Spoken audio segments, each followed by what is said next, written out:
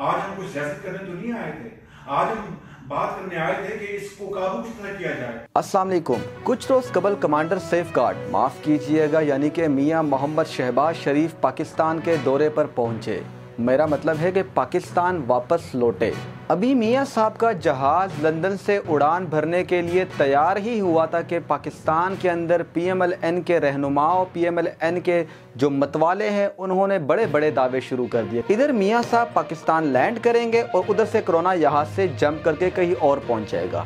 Social media پر ماحول ایسا بنایا گیا کہ حکومت کے تمام اہم ترین رہنماؤں، محکمہ ہیلتھ اور بیوروکریسی نے منتے ترلے کر کے میاں صاحب کو واپس آنے کی ریکویسٹ کی ہے، جس کے بعد انہوں نے اس کا بغور جائزہ لیا اور انہوں نے فیصلہ کیا کہ اس وقت پاکستان کو میری ضرورت ہے۔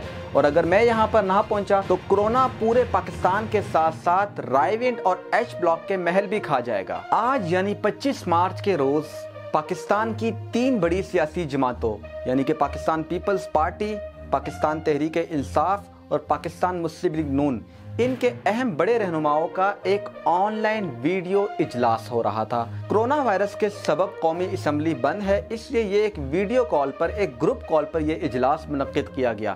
اس اجلاس کا اہم اور ون پوائنٹ ایجنڈا یہ تھا کہ کرونا سے نمٹنا کیسے ہے۔ اس ویڈیو اجلاس کو جو کہ انتہائی اہمیت کا حامل تھا اس اجلاس کو میاں محمد شہباز شریف صاحب چھوڑ کر چلے گئے جس کی ایک ویڈیو بھی سوشل میڈیا اور تمام ٹیلی ویژن چینلز پر چل رہی ہے۔ سب سے پہلے تو یہ ویڈیو ملاحظہ کیجیے دیکھیے اس کو اس میں میاں صاحب کیا کہہ رہے ہیں اور کس طرح سے وہ اجلاس کو چھوڑ کر گئے۔ آج ہم کچھ سیاست کرنے تو نہیں آئے تھے۔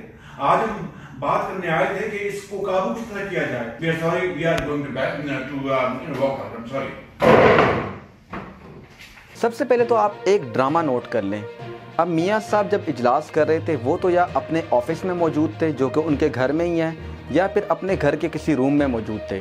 تو آپ جو اجلاس چھوڑ کر گئے، آپ کی ویڈیو بنائی گئی، جس کو آپ نے لوگوں کو دکھانا تھا کہ میں کچھ نہ کچھ تو کر رہا ہوں، میری سیاست ابھی زندہ ہے کسی نہ کسی طریقے سے۔ تو آپ نے یہ ویڈیو بنائی۔ یہ اجلاس چھوڑ کر آپ کہاں گئے؟ گلی میں گئے، محلے میں گئے، باہر کسی جلسے جلوس میں گئے؟ نہیں بھائی، اسی گھر میں تھے آپ۔ بس آپ نے ایک ڈرامہ کرنا تھا، کر لیا۔ صرف آپ نہیں کرتے، سب کرتے ہیں۔ دوسری بات یہ اجلاس جو تھا یہ پہلے سے طے شدہ تھا۔ اس اجلاس کا جو ایجنڈا تھا، اس میں بتایا گیا تھا کہ عمران خان یعنی کہ وزیر اعظم عمران خان صاحب اس اجلاس میں شرکت نہیں کریں گے۔ لیکن انہوں نے محسوس کیا، انہوں نے سمجھا کہ ایک یہ نازک مسئلہ ہے۔ اس وقت ملک کا، بلکہ دنیا کا سب سے بڑا مسئلہ یہی کرونا ہے۔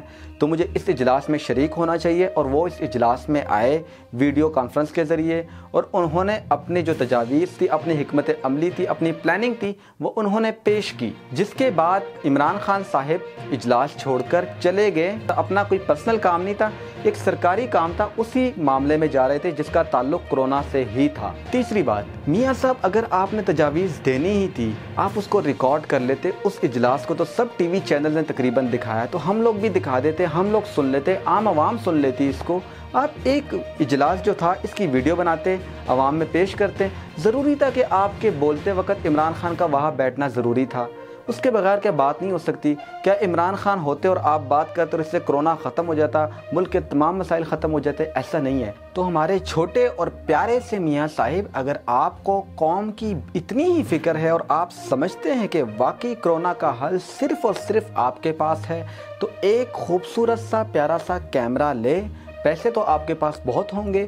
اس سے ایک ویڈیو بنائیں جس کے ذریعے اپنا ویڈیو پیغام ریکارڈ کروائے، اس میں آپ اپنی تجاویز دیں اور جو آپ کے پاس ویکسین پڑی ہوئی ہے، جو اس کا سلوشن آپ کے پاس ہے، وہ پوری قوم کے سامنے رکھ دے، اس کو ظاہر حکومت بھی دیکھے گی، میڈیا بھی دکھائے گا اور ہم بھی یہاں پر سوشل میڈیا پر اس کو دکھائیں گے۔ اگر آپ نے اس ایشو کے اوپر آج بھی سیاست کی، تو آپ اپنے آپ کو ایک سیاستدان ثابت کریں گے۔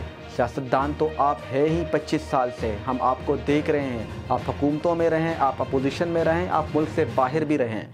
لیکن اس قومی اور عالمی ایشو کے اوپر آپ سیاست کر کے کبھی بھی قومی رہنما نہیں بن سکتے۔